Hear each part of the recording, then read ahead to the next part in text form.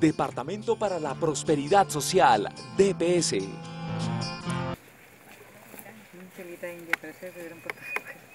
Hace más de cuatro años, este grupo de hombres y mujeres, con sus familias, fueron desplazados de las zonas del Alto Sinú y el Nudo de Paramí, lugares ubicados entre los departamentos de Córdoba y Antioquia, donde la violencia aún no cesa.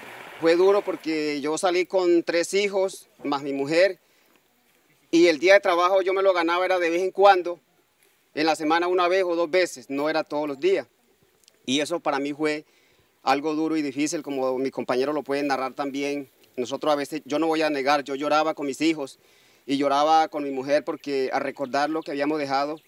Ya asentados en el municipio de Tierra Alta desde 2008 y después de pasar momentos muy duros, 35 familias fueron reubicadas y recibieron de manos del Instituto Colombiano de Desarrollo Rural, INCODER, este predio llamado Santa Rosa, donde también llegó la atención de la operación prolongada de socorro en la modalidad de alimentos por trabajo y el apoyo del Departamento para la Prosperidad Social.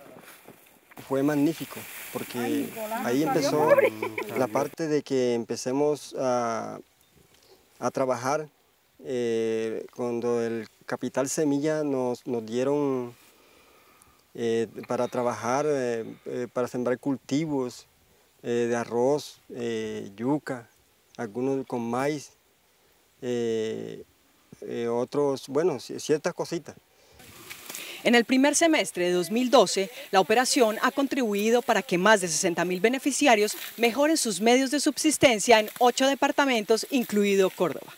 Por su tenacidad y capacidad de trabajo, ellos son valientes del campo, pues estos cultivos de arroz, yuca, plátano, banano y maíz no solo garantizan la alimentación de sus familias, también los hace independientes, orgullosos de sus logros y resalta una labor cooperativa y comunitaria que los une, que continúen luchando por hacer más prósperas y fértiles sus tierras. Me siento contenta porque era que yo no tenía dónde vivir, no tenía dónde vivir, no tenía casa, no tenía mi familia. ¿Cómo se siente, digamos, como con esta comunidad? Ah, yo me siento feliz.